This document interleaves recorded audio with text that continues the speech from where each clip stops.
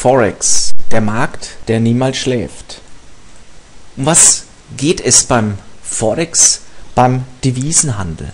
Zuerst mal ein kurzer Blick auf den Interbankenmarkt, denn im Gegensatz etwa zu Aktien werden Devisen nicht an einer zentralen Börse gehandelt. Währungen werden direkt zwischen Banken und Brokern gehandelt. Deswegen müssen auch keine Börsenöffnungszeiten beachtet werden. Devisen können quasi ununterbrochen gehandelt werden. Aber keine Angst, da der Forex-Markt der größte Markt der Welt ist mit bis zu 4 Billionen Dollar Tagesvolumen, sind die Preise für Dollar, Euro und Co. sehr transparent und die Gebühren spielen beim Traden keine Rolle. Noch vor etwa 15 Jahren kamen Privatpersonen nur bei der Vorbereitung auf den Sommerurlaub oder den Wechselstuben am Flughafen oder im entsprechenden Urlaubsland mit Devisen überhaupt in Berührung. Das sind aber dann eher eben die Sorten, also Münzen, Banknoten in ausländischen Währungen.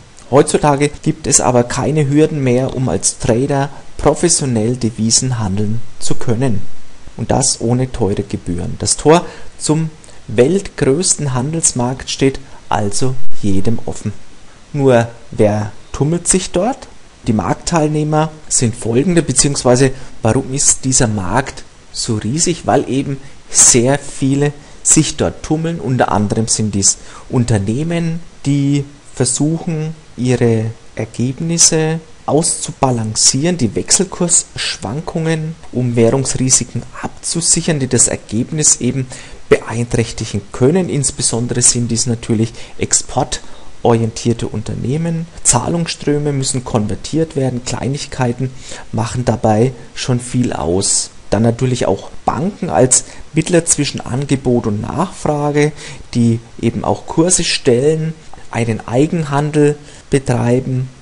Dann natürlich Trader, Sie oder ich als professioneller Trader oder eben nicht partizipieren Sie eben auch oder können an Wechselkursschwankungen partizipieren. Der Broker als Vehikel für Trader, um am Forex-Markt direkt agieren zu können. Dann aber auch Zentralbanken, ob das jetzt die amerikanische Notenbank, die Fed ist oder die Europäische Zentralbank. Alle mischen mit. Dann die Kapitalanlagegesellschaften, zu allerletzt Fonds etwa konvertieren die Gelder, aber auch zur Gewinnerzielung wird der Forex-Markt gewählt.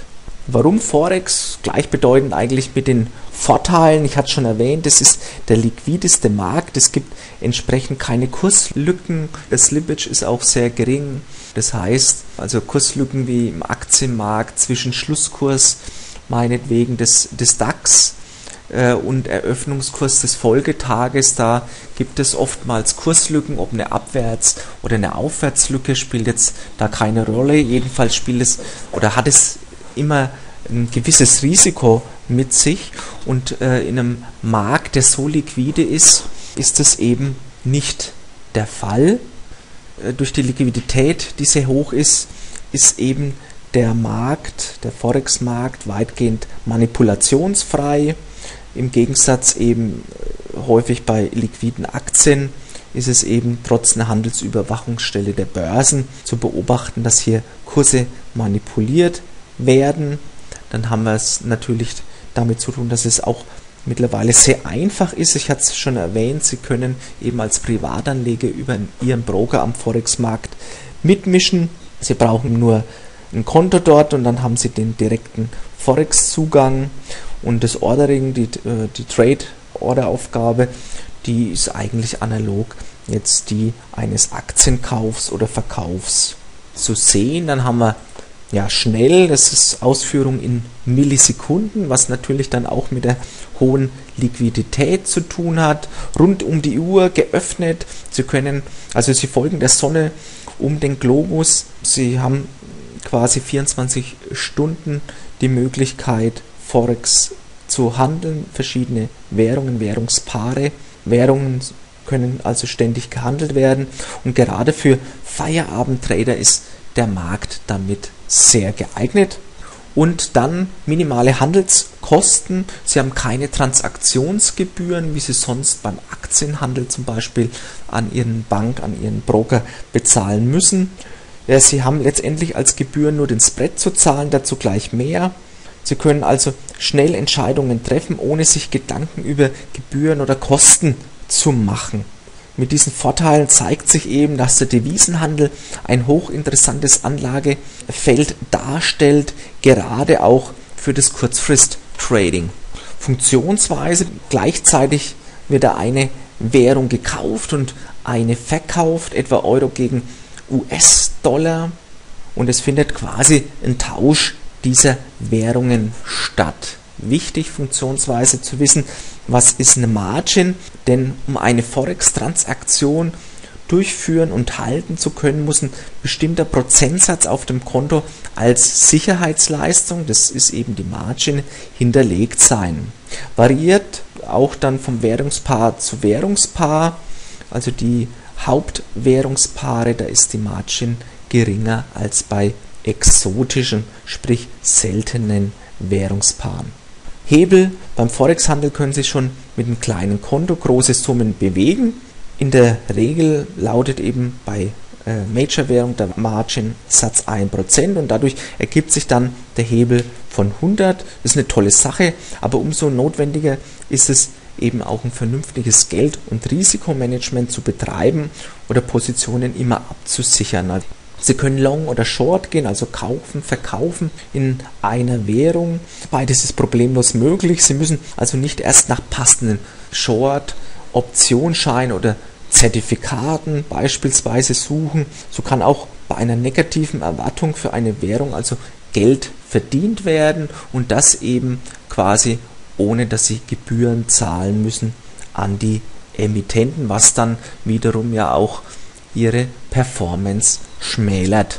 Es gibt gewisse Besonderheiten, ja, ganz schnell, bevor wir uns das Ganze mal im CFX Trader direkt anschauen. Die sogenannten Basics, die Basis, Basiswährungen, das ist eben immer die erste Währung des Währungspaares. Majors hatte ich schon erwähnt, das sind der US-Dollar, der Euro, der japanische Yen, das britische Pfund, der Schweizer Franken, Kanada-Dollar und Australdollar. In diesen Währungen werden über 85 Prozent der weltweiten Transaktionen durchgeführt und entsprechend sind in diesen Währungspaaren dann auch enge Spreads anzutreffen aufgrund eben des hohen Volumens. Spread erkläre ich gleich nochmal. Exoden, das sind eben dann alle anderen Währungen, eine türkische Lira beispielsweise, mexikanische Pesos, um da jetzt nur zwei Beispiele zu nennen. Der CFX Broker bietet mittlerweile rund 160 Währungspaare an und da sieht man mal, welch große Spanne der CFX Broker hier anbietet und welche zum anderen aber auch, welche Möglichkeiten der Forex-Markt anbietet. Crossrates nochmal so ein geläufiges Wort aus dem Devisenhandel vielleicht. Als Crossrates werden Währungspaare bezeichnet, die nicht gegen den US-Dollar gestellt werden. Die Währungspaare unterliegen aber untereinander eben Abhängigkeit, Wechselbeziehungen. Eine Bewegung bei Euro, japanischer Yen wird auch ähnliche Auswirkungen im Währungspaar US-Dollar, japanischer Yen haben. Und das ist der eben dieser sogenannte Cross-Rate Effekt. Dann haben wir noch Carry Trades, dabei handelt es sich um Zinsdifferenzgeschäfte, die man eben mit Hilfe des Forex Marktes durchführen kann. In Länder bzw. Währungen, die niedrige Zinsen bieten, wird Geld geliehen, um dieses Geld dann zu verleihen. Und zwar in Ländern, Währungen, die hohe Zinsen bieten. Und für Privatanleger reicht das Portemonnaie meist eben nicht so aus, damit diese Zinsdifferenzen auch etwas einbringen. Doch erstens beeinflussen diese Zinsunterschiede die Währungskursschwankungen und zweitens entsteht bei der Auflösung von Carry Trades starke Bewegungen, die Auswirkungen auf eigene Positionen oder Trading-Ideen dann haben können. So, und jetzt nochmal zu den Basics, Geld- und Briefkurs, Brief- oder Askurs und, und den Spread. Das wollen wir uns aber dann direkt anschauen im CFX Trader, der professionellen Chart- und Handelssoftware des CFX Brokers. Und was haben wir hier? Wir haben den Euro gegen US-Dollar im 30-Minuten-Chart. Ich habe ein paar Trendlinien eingezeichnet. Hier den kurzfristigen Abwärtstrend, der hier dann nach oben durchstoßen wurde. Wir haben hier auffälliges ähm, Top hier bei 1,34, also eine markante Widerstandszone, die mehrfach den Eurobullen, ja, die sich dort eine blutige Nase geholt haben. Aber das will ich jetzt gar nicht erklären. Dafür haben wir andere Lehrvideos, äh, zum Beispiel für die technische Analyse, sondern es geht hier um die Möglichkeit zu handeln und Ihnen die Basics noch genauer zu erklären. Hier haben Sie, ich rufe es hier direkt mal auf, die Möglichkeit Euro gegen US-Dollar zu kaufen. Sie geben den Betrag vor, aber ähm, Sie müssen jetzt nicht 25.000 Euro oder US-Dollar hier auf dem Trading-Konto haben, sondern ich hatte es erklärt, Margin-Handel, sondern nur 1% dann davon in so einem Major-Währungspaar. Sprich, Sie müssen hier nur 250 äh, Euro auf Ihrem Trading-Konto frei haben, offen haben für eine Transaktion, um eben 25.000 handeln zu können und wir geben hier einfach mal eine Kauf-Market-Order ein, um Ihnen das mal genauer zu erklären. Nur was kaufe ich jetzt? Kaufen Sie zum Geld oder kaufen Sie zum Briefkurs oder Bit- und Ask-Kurs auch häufig genannt. Und das möchte ich erklären. Der Geld oder der auch Bitkurs eben genannt. Zu diesem Preis können Sie an Ihren Broker verkaufen, also das wäre der Verkaufskurs. Wir wollen aber hier kaufen. Entsprechend ist der Brief oder der Askurs für uns bei diesem Beispiel relevant. Zu diesem Preis können Sie nämlich kaufen.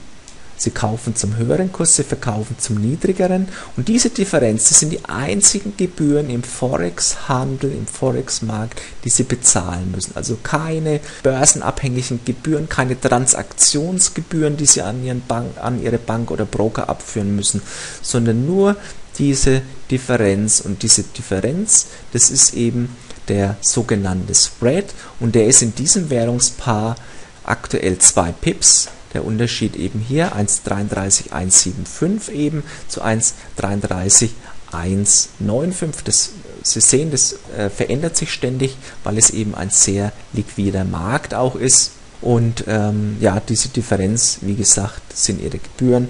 Das ist der Spread. Und hier, ich hatte die Kurse schon vorgelesen, hier geht es um Pips. Im Forex-Markt geht es nicht um Punkte, sondern hier um Pips.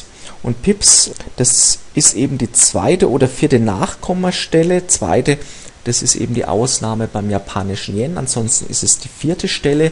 Wir haben aber jetzt hier fünf Stellen. Das bedeutet hier, dass der CFX Broker zeigt noch diese fünfte Stelle an und kann eben hier noch engere Spreads darstellen als manch anderer Broker. Normalerweise ist eben die vierte Nachkommastelle des PIP die kleinste mögliche Kursveränderung und hier ist es der sogenannte Mini- oder Micro-PIP. Ja, so viel zu den Basics auch nochmal und zu der hervorragenden Plattform des CFX Brokers. Wir platzieren jetzt einfach vielleicht mal ähm, hier über Order platzieren diese Order, dass Sie das mal sehen, wie das auch funktioniert. Da kann man sich gleich die Ausführung hier anzeigen lassen, was wir hier hatten. Also Sie sehen es, innerhalb von Millisekunden bekommt man hier eine Ausführung. So, und jetzt haben wir hier auch nochmal ein Beispiel. Ein Lot, das ist der Fachbegriff für 100.000 äh, eines ja, beliebigen Währungspaars. Sie haben eine Marge von 1%, wenn es sich um ein Major-Währungspaar handelt und haben so hier eine Sicherheitsleistung auf dem Konto zu hinterlegen von 1000 Euro, beziehungsweise wird das bei Ihrem Konto dann so vermerkt. Wert eines Pips wäre bei dieser 100.000er Beispiel, wenn es gegen den US-Dollar geht, 10 US-Dollar und Sie können eben Mini- oder Micro-Lots auch handeln, also wie gesagt, äh, nur Bruchteile dann auch von diesen 100.000. Das war früher nicht möglich, weil da eben im Forex-Markt nur die großen Adressen waren. So, und jetzt ist es eben möglich, auch Bruchteile dieser Lots zu handeln. Mehr Informationen finden Sie bei Ihrem Broker, dem CFX Broker unter www.cfx-broker.de. Sie können per E-Mail die Serviceabteilung schnell erreichen, kostenlos auch am Telefon kontaktieren. Wer Informationen zum täglichen Handeln haben möchte, der schaut doch bitte unter www.blog.cfx-broker.de mal vorbei. Da tauschen sich Anfänger, Fortgeschrittene und Profis zum aktuellen Marktgeschehen aus. Und ansonsten wünsche ich Ihnen viel Erfolg beim Devisenhandel. Ihr Till Kleinlein.